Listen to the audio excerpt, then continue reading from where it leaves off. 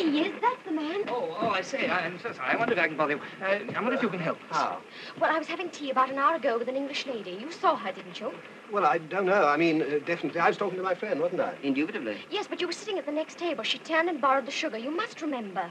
Oh, yes, I recall passing the sugar. Well, then you saw her. I repeat, we were deep in conversation. We were discussing cricket. Well, I don't see how a thing like cricket can make you forget seeing people. Oh, don't you? Well, if that's your attitude, obviously there's nothing more to be said.